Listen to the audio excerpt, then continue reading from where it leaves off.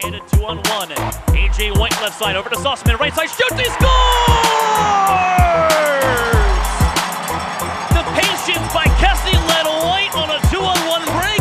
And on the back door, it's the bearded man Saucerman to bat at home. His third.